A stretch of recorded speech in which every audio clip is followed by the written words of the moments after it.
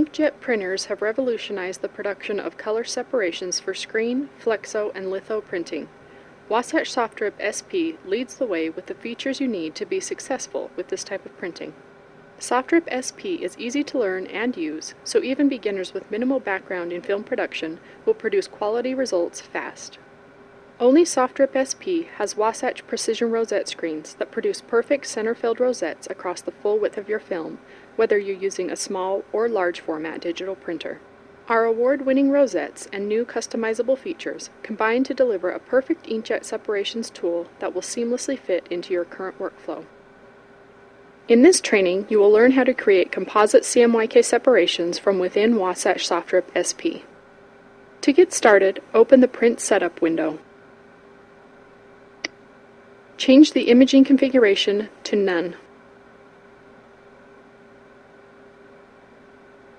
Click Edit and Properties to access the Printer Properties window.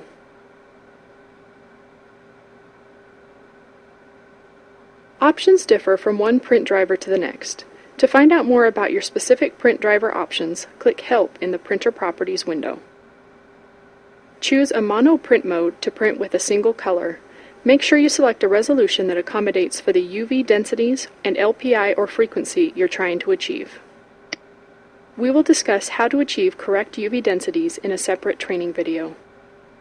Select a dot type that accommodates for the halftoning method you plan to use. Select a dot size that accounts for your desired UV density. Select Advanced Controls. Check the box for Make Separations on RIP. This option tells Wasatch to perform composite CMYK separations on images once they are ripped. This option also allows you to choose the ink channel you wish to use for your separations. Any spot color separation should be handled using a graphics application. Click OK at the bottom of the Printer Properties window. Now select the halftoning method that you want to use. From the Imaging Configuration window, click the Color Transforms button.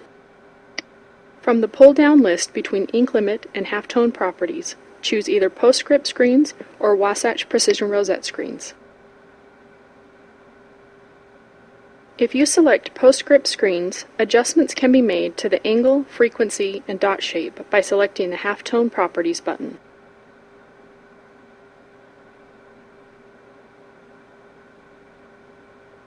If you select Wasatch Precision Rosette screens, clicking on the Halftone Properties button will let you choose a rosette pattern to match your desired frequency, resolution, and dot shape settings. This window also gives you the option to create new screens if you don't find a desired pattern. We will discuss how you can generate your own Wasatch Precision Rosette screens in a separate training video. Once you've selected your halftone method, click OK to exit the color transform screen. Click OK once more and Wasatch will prompt you to save your new imaging configuration. Enter a name and click OK.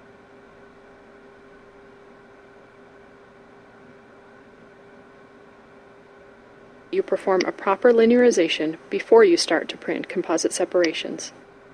We will discuss how to perform a linearization in a separate training video. Now you're ready to start printing your composite separation. Select the file browser and drag an image into the job screen. Choose RIP and Print.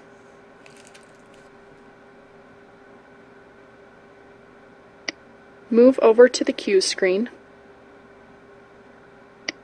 You will see that each of the four screens has been printed. On the right side of the print queue, there is a separation column this column will tell you the name of each screen that was printed. Now you're ready to continue producing composite separations with Wasatch SoftRIP SP.